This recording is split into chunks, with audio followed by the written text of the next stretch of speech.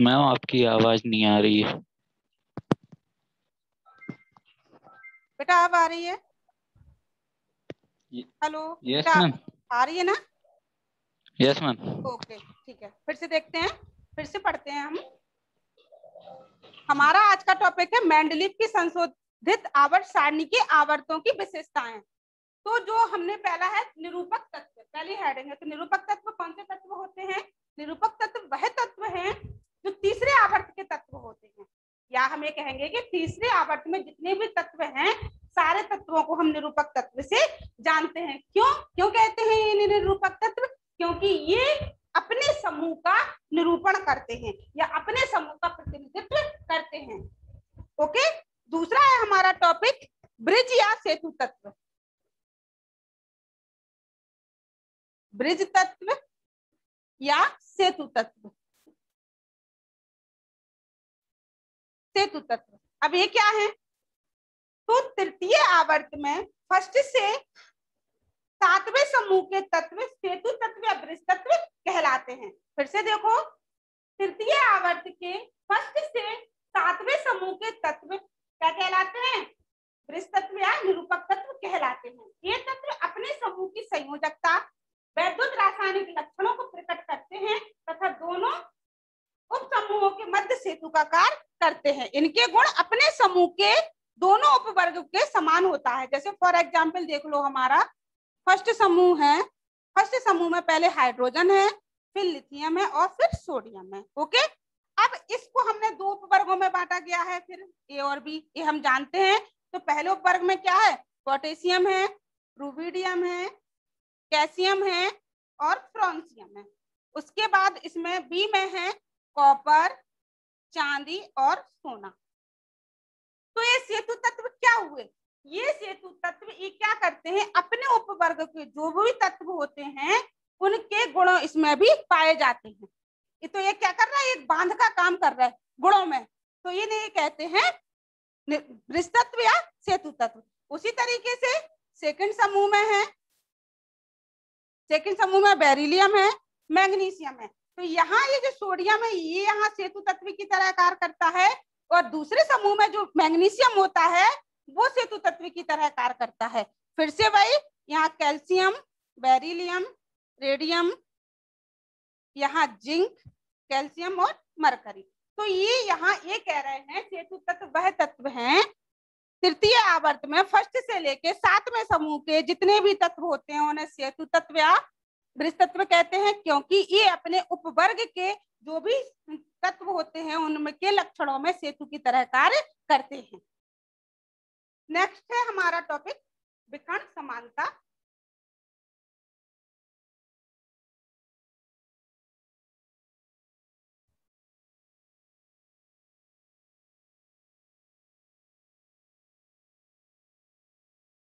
विकर्ण समानता। सब लोग जानते हैं ये विकर्ण क्या होता है? जैसे कोई भी आयत है ए बी सी डी तो ये जो लाइन मिलाती है, उसे विकर्ण कहते हैं, ठीक है? ये जो लाइन होती है ए और डी वाली, उसको हम क्या कहते हैं? विकर्ण कहते हैं। तो सबसे पहले हमें समझ में आ गया, विकर्ण होता क्या है? तो क्या है? द्वितीय आवर्त के कुछ तत्वों के गुण। किसके? द्वितीय आवर्त के कुछ तत्वों के गुण। तृतीय आवर्त के कुछ तत्वों के गुणों में समानता पाए जाते हैं और कैसे गुणों में समानता होती है? जो कि उसके विकर्ण पर स्थित होता है। जैसे, ये फ़र्स्ट सेकंड क्या है हमारा? लिथियम है बेरिलियम है बोरॉन है कार्बन है, यहाँ सोडियम मैग्नीशियम एल्यूमिनियम और सिलिकन तो ये क्या कह रहा है समानता क्या है कि द्वितीय आवर्त के तत्व तृतीय आवर्त के कुछ तत्वों से गुणों में समानता रखता है, जो कि उसके विकर्ण पर संबंध स्थित होते हैं। जैसे लिथियम के विकर्ण पर क्या है? मैग्नीशियम। बेरिलियम के विकर्ण पर क्या है? एल्यूमिनियम। और बोरॉन के क्या है? सिलिकन। ठीक है? तो ये लिथियम के गुणों की समानता इस मैग्नीशियम से होती है, बेरिलियम की समानता गुणों की एल्यूमिनियम के गुणों से होती है, और बोरॉन की समानता सिलिकन के गुणों से होती है। और चूँकि ये इनके विकर्ण पर स्थित है, इसीलिए इसे क्या कहते हैं? विकर्ण समानता कहते हैं। तो हम क्या लिखेंगे कि द्वितीय आवर्त के कुछ तत्वों के गुण, तृतीय आवर्त के उन तत्वों से मिलते हैं, जो उनके विकर्ण अभिमुख होते हैं विकर्ण पर स्थित होते हैं। इस समानता को हम क्या कहते हैं? विकर्ण समानता। नेक्स्ट हमारा संक्रमण तत्व। जैसे निरूपक तत्व था निरूपक तत्व कौन से थे? तृतीय आवर्त के सारे तत्व निरूपक तत्व कहते थे। उसी तरीके से आठवें समूह के जितने भी आठवें समूह के तत्व एवं सभी बी उपवर्ग के, एक तो आठवा और बी उपवर्ग के जितने भी तत्व होते हैं, उन्हें सबको क्या कहते हैं हम? संक्रमण तत्व कहते हैं। आंतरिक संक्रमण तत्व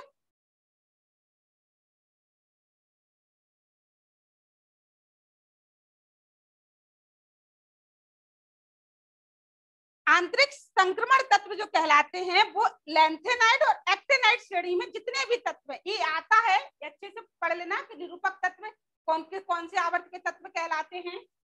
संक्रमण तत्व कौन से आवर्त के तत्व कहलाते हैं और आंतरिक संक्रमण तत्व कौन से तत्व कहलाते हैं। तो जो लेंथेनाइड जो नीचे रखी गई हैं, भारी तत्व होते हैं लेंथेनाइड श्रेणी के और एक्टेनाइड श्रेणी के।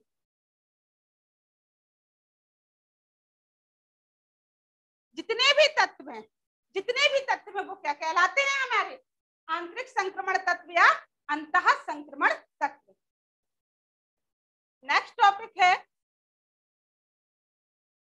ये आपको शॉर्ट नोट में पूछा जाएगा। इस लेसन से बहुत सारे शॉर्ट नोट होते हैं। जब आप अपना अनसॉल्व पेपर सॉल्व करोगे केमिस्ट्री का तो आप देखेंगे, इस लेसन से बहुत सारे शॉर्ट नोट पूछे जाते हैं और यही सब आता है उसमें। और नेक्स्ट है हमारा नॉर्मल तत्व किन्हें कहते हैं? तो क्या कहलाते हैं? सेतु तत्व। कौन से कहलाते हैं? सेतु तत्व। और सभी ए उपवर्ग के जो तत्व होते हैं, उन्हें हम नॉर्मल तत्व या सामान्य तत्व के नाम से जानते हैं। तो कंफ्यूज नहीं होना है। नॉर्मल तत्व, सेतु तत्व और सभी उपवर्ग के संक्रमण तत्व कौन से हुए? आठवें वाले ग्रुप के और सभी बी उपवर्ग के। तत्व क्या कहलाते हैं? संक्रमण तत्व, सामान्य और क्या? आंतरिक संक्रमण तत्व।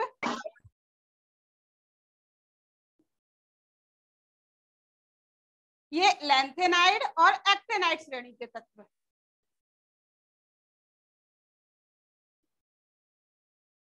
और पहला था हमारा निरूपक तत्व। तो ये तीसरे आवर्त के जो तत्व है। इसमें हमें कंफ्यूज नहीं होना है, ये हम बस इस तरीके से एक सारणी बनाकर देख सकते हैं। नेक्स्ट हमारा आखिरी टॉपिक है इस लेसन में, आवर्त सारणी के गुणों की प्रकृति।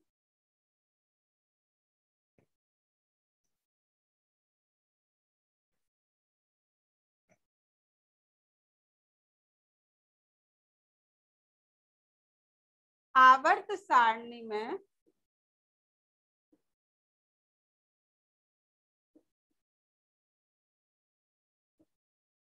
गुणों में प्रवृत्ति।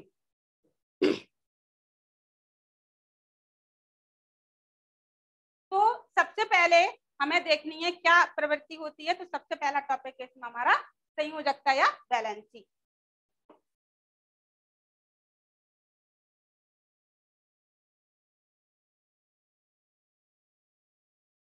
तो क्या है हमारा? किसी भी तत्व की संयोजकता उसके परमाणु के सबसे बाहरी कोष में उपस्थित इलेक्ट्रॉन की संख्या है। है? जैसे जैसे अगर हम कहें कि सोडियम की क्या होगी संयोजकता? तो सोडियम का एटॉमिक नंबर कितना है? वन। इसका दो, आठ, एक। इलेक्ट्रॉनिक विन्यास करेंगे तो इसके बाहरी कक्षा में कितना इलेक्ट्रॉन है? एक। तो इसकी संयोजकता कितनी होगी? एक।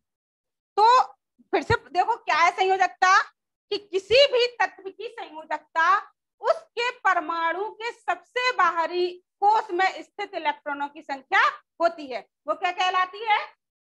उस तत्व की संयोजकता कहलाती है। धातुओं की जो संयोजकता है,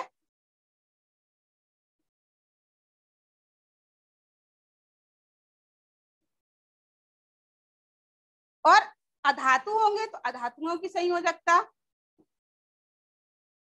ये क्या है? संयोजी इलेक्ट्रॉन की संख्या होती है।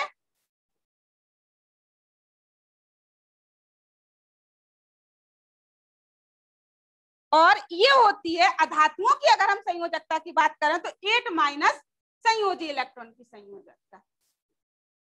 की संख्या। फॉर एग्ज़ाम्पल सबसे पहले हम देख लेते हैं, मैग्नीशियम का देख लेते हैं। मैग्नीशियम क्या है? धातु है तो इसका इलेक्ट्रॉनिक परमाणु क्रमांक कितना है? बारह। इसकी क्या हुई? दो, आठ, दो। तो इसके संयोजी इलेक्ट्रॉन यानी कि अर्थात सबसे बाहरी कक्षा में उपस्थित इलेक्ट्रॉन। तो कितने इलेक्ट्रॉन उपस्थित है? इसके दो इलेक्ट्रॉन। तो इसकी संयोजकता कितनी हुई? इसकी संख्या ही क्या हुई? क्योंकि धातु है तो इसकी संयोजकता क्या हुई? दो। अगर हम बात करें अधातु की तो अधातु में सल्फ़र देख लो। सल्फ़र क्या है? अधातु है। इसका एटॉमिक नंबर होता है सिक्सटीन होता है इसका इलेक्ट्रॉनिक विन्यास टू एट सिक्स ओके और हाँ यहाँ याद ध्यान देने वाली बात है, मैग्नीज जो धातुओं की संयोजकता होती है, वो प्लस में होती है, जो अधातुओं की संयोजकता होती है, वो माइनस में होती है। तो सल्फ़र का एटॉमिक नंबर सिक्स इसका हम इलेक्ट्रॉनिक विन्यास बनाएँगे तो टू एट सिक्स इसके बारह कक्षा में कितने इलेक्ट्रॉन संयोजी इलेक्ट्रॉन कितने हैं? सिक्स इसकी संयोजकता कैसी होती है? एट माइनस सिक्स तो इसकी कितनी हुई? टू इसकी संयोजकता कितनी हुई? टू इतनी बात आई समझ में? कि जब हम धातुओं की बात करेंगे संयोजकता की तो तो संयोजी इलेक्ट्रॉन की संख्या होगी। और अगर हम धातुओं की बात करेंगे तो एट माइनस संयोजी इलेक्ट्रॉनों की संख्या उसकी संयोजकता दर्शाती है। और आवर्त सारणी में जब बाई ओर से दाई ओर जाने पर क्या होता है? संयोजकता पहले बढ़ती है, चार हो जाती है और फिर चार से लेके एक तक घटना प्रारंभ हो जाती है। एक एग्ज़ाम्पल कराया था हमने, वो हम देख लेते हैं इसमें। क्या है एग्ज़ाम्पल एक तत्व एम दिया हुआ है। एम के ऑक्साइड का सूत्र एम ओ है। तो इसके नाइट्रेट का इसके नाइट्रेट का सूत्र ज्ञात करो? इस तरीके के क्वेश्चन हमने नाइन्थ में किए हुए थे कि इसकी संख्या इतनी संयोजकता ये है, इसकी संयोजकता ये है तो इसका सूत्र कैसे बनाएँगे? संयोजकता से सूत्र बनाना हमने नाइन्थ में सीखा था। टेंथ में आपको अनसॉल्व में जितने भी इस तरीके के क्वेश्चन मिले, आपको सॉल्व करने हैं, और जो ना आए वो आप हमको हमसे पूछ लेना है। तो क्या है इसको हम कैसे सॉल्व करेंगे? एम की संयोजकता दो है क्योंकि हाँ यहाँ देखो, अब हम कैसे कैसे लगाएँगे इसको? एम हमारा अज्ञात धातु। हमें पता नहीं है कि क्या है। ऑक्साइड की ओ की संयोजकता हमें पता है क्या होती है? Minus two. ये हम जानते हैं, हमने याद किया हुआ है। हमें पता भी है। या हम ऐसे भी कह सकते हैं कि ऑक्सीजन जो क्या है, वो अधातु है। इसका एटॉमिक नंबर होता है एट ऑक्सीजन का तो इसका इलेक्ट्रॉन विन्यास टू और सिक्स चूँकि अधातु है तो एट माइनस संयोजी इलेक्ट्रॉन की संख्या तो हो गई, दो हो गई। अब ये माइनस में, चूँकि अधातु है तो माइनस में जाएगी तो इसकी संयोजकता दो है। ये हमें पता है या हमने निकाल दिया सूत्र से। अब हमें एम की संयोजकता नहीं पता था तो हम क्या, इसका सूत्र क्या दिया है? एम ओ अर्थात यहाँ दोनों जब बराबर होंगी संयोजकता तभी तो ये सूत्र बना। जैसे हम कैसे लिखते थे? एम ओ दो की संयोजकता इसके नीचे लिख लिया। ठीक है? कहते हैं जिसकी संयोजकता उसके नीचे लिख लेते तो एम टू ओ जब इसकी भी दो होगी, तभी तो ये दो दो कैंसिल होकर के एम ओ सूत्र बना होगा इसके ऑक्साइड का। आ रही है इतनी बात समझ में? तभी तो इसके ऑक्साइड का सूत्र कितना बना होगा? एम ओ तो अर्थात इससे हमने क्या निकाल लिया? एम की संयोजकता निकाल ली, दो। तो हमें पता चल गया कि एम की संयोजकता कितनी है? दो। तो एम की संयोजकता दो है। नाइट्रेट की हमें दी हुई है नाइट्रेट की होती है NO3 ए होता है। नाइट्रेट की संयोजकता होती है ए। अब हम इसका सूत्र कैसे बनाएँगे? M के नीचे हमने इसकी संयोजकता लिख ली, नाइट्रेट के नीचे हमने इसकी संयोजकता लिख ली। तो क्या बनेगा सूत्र? एम बंद है चूँकि तो बंद लिखा नहीं जाता, एनओ थ्री। एनओ थ्री का होल ट्वाइस। तो एक तत्व एन के ऑक्साइड का सूत्र एमओ है तो इसके नाइट्रेट का सूत्र एम एनओ थ्री का होल ट्वाइस होगा।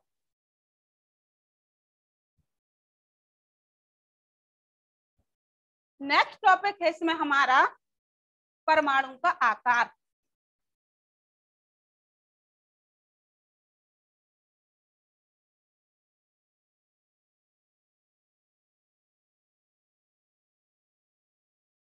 तो परमाणु के आकार से तात्पर्य है परमाणु की त्रिज्या। तो एक स्वतंत्र परमाणु के केंद्र से बाहतम कोष के तक की दूरी उसकी क्या कहलाती है? त्रिज्या। ओके, जैसे मान लो सोडियम है टू एट वन, इससे नाविक हो गया।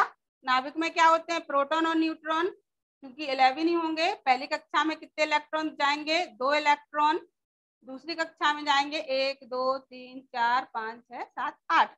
और तीसरी कक्षा में जाएँगे दो इलेक्ट्रॉन। तो ये क्या कह रहे हैं? ये कह रहे हैं नाभिक से केंद्र के बाहरी इलेक्ट्रॉन के कक्षा तक की दूरी। ये क्या हो गई त्रिज्या। और जिसकी यही इसका आकार होता है। परमाणु के आकार से अगर हम बात करें तो परमाणु का आकार संबंधित होता है परमाणु त्रिज्या से। परमाणु त्रिज्या क्या है? किसी भी परमाणु के केंद्र से बाहतम कोष के इलेक्ट्रॉन तक की दूरी उस परमाणु की त्रिज्या कहलाती है, जो कि परमाणु का आकार निर्धारित करती है। ठीक है?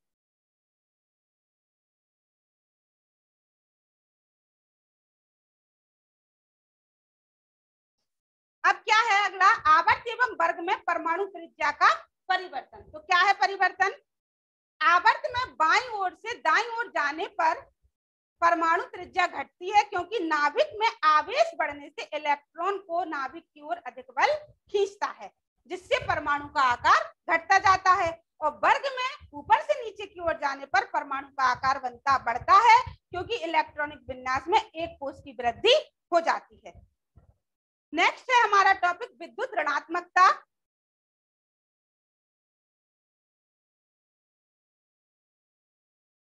इलेक्ट्रोनेगेटिविटी विद्युत ऋणात्मकता। क्या है? तत्वों की विद्युत ऋणात्मकता फ़र्स्ट ए से सेवेंथ ए तक बढ़ती है। फ़र्स्ट ए से सेवेंथ ए तक क्या है?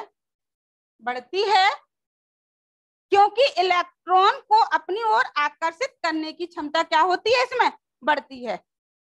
और शून्य वर्ग में जो होती है विद्युत ऋणात्मकता भी शून्य हो जाती है, क्योंकि इन तत्वों के बाह्यतम कोष कैसे होते हैं? पूर्ण। जब पूर्ण होते हैं तो इनमें कोई भी फोर्स ऑफ़ अट्रैक्शन कार्य नहीं करता।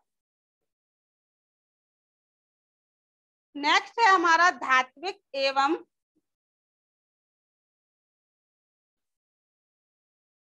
अधात्विक गुण।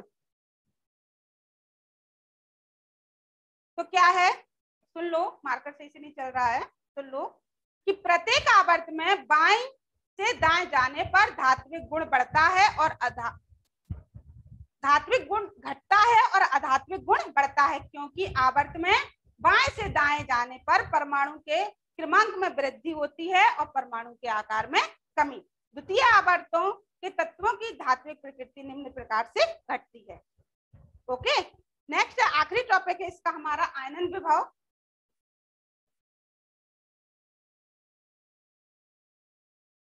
आयनन विभव। ये क्या है? ये है हमारा कि परमाणु से कोई भी परमाणु है उससे आयन बनने में, अर्थात इलेक्ट्रॉन निकलने में या इलेक्ट्रॉन ग्रहण करने में जितनी भी ऊर्जा की आवश्यकता होती है, वह उसका क्या कहलाता है? आयनन विभव। क्या कहलाता है? आयनन विभव। प्रत्येक आवर्त में बाएँ से दाएँ ओर जब हम चलते हैं तो आयनन विभव कैसा होता है? बढ़ता है। ठीक है? कैसा होता है? बढ़ता है। तो क्या है आयनन विभव? कि किसी परमाणु के आयन बनने में जितनी भी ऊर्जा का मान होता है, वह उसका आयनन विभव कहलाता है। इसके साथ ही ये होता है हमारा ये लेसन पूरा। आगे का लेसन करेंगे हम। अगली क्लास में हमारा आगे का लेसन कौन सा है? हमारा अम्ल क्षार एवं लवण तो हम वो देखेंगे।